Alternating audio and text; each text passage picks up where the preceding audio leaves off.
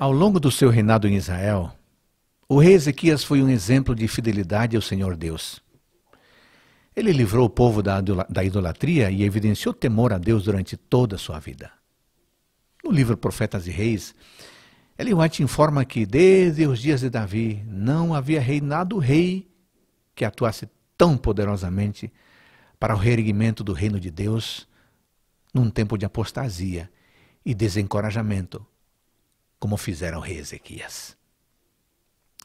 As providências tomadas por Ezequias foram tão marcantes que as nações vizinhas compreenderam que o povo de Israel era um povo que tinha um Deus e que Deus de Israel estava com o seu povo. Profetas de Reis, página 174. Contudo, o rei Ezequias foi acometido por uma doença fatal, incurável. Naqueles dias, Ezequias adoeceu de uma enfermidade mortal, diz o verso 1. Seus dias estavam contados. E, sem esperança, restava ao rei aguardar o pior. Ao profeta Isaías coube a tarefa de informar o rei Ezequias do seu breve destino. Ezequias iria morrer, mas antes precisava colocar sua casa em ordem. Suponha algo semelhante acontecendo a você. Depois de anos de infidelidade a Deus, uma doença o acomete e, nesta circunstância de sofrimento, dor e angústia, esperando uma mensagem de ânimo, de conforto e de esperança, chega uma mensagem do próprio Deus, dizendo, dizendo que a sua morte se aproxima e que não há esperança para um desfecho diferente. Num momento assim, supõe ser natural entrar em desespero e até questionar a ação divina. A reação de Ezequias foi chorar muito. E ele orou ao Senhor. Verso 2. A condição de Ezequias estava além das condições humanas e todas as perspectivas apontavam para o pior. A Ezequias restava uma única opção: orar. Em momentos difíceis, as reações humanas podem ser diversas, mas o rei agiu como fez, dado a sua constante dependência e confiança em Deus. A resposta à oração de Ezequias é simplesmente espetacular.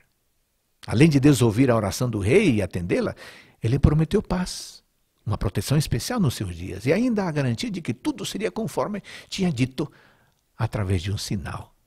Versículos 5 a 8. A oração do rei até pareceu presunçosa, mas deveria Ezequias ter evitado essas palavras? Deveria ele haver preparado uma oração mais humilde? Ezequias apenas abriu seu coração e conversou com Deus, como se falasse a um amigo. Ele simplesmente foi sincero e apresentou ao Senhor o que estava sentindo naquele momento no seu coração. Foi uma oração sem mentiras, sem rodeios. E Deus ouviu, e em sua deliberada onisciência, atendeu essa oração. Depois do milagre, as palavras de Ezequias foram de reconhecimento. O rei sabia que esteve próximo à morte.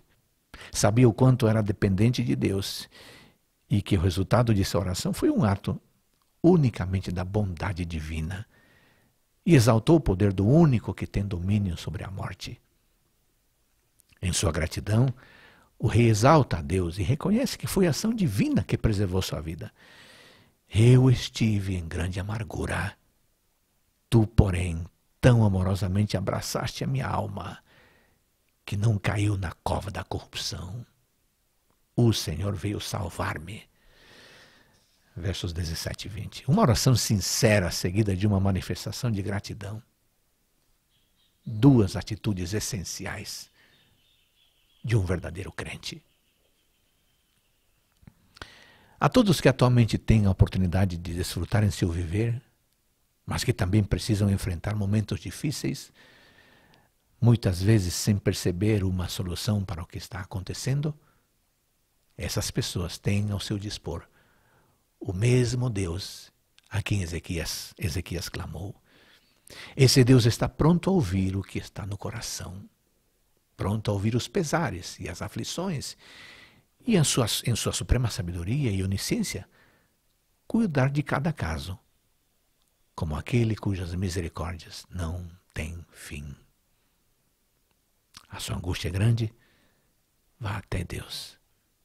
Ele vai ouvir você. Amén.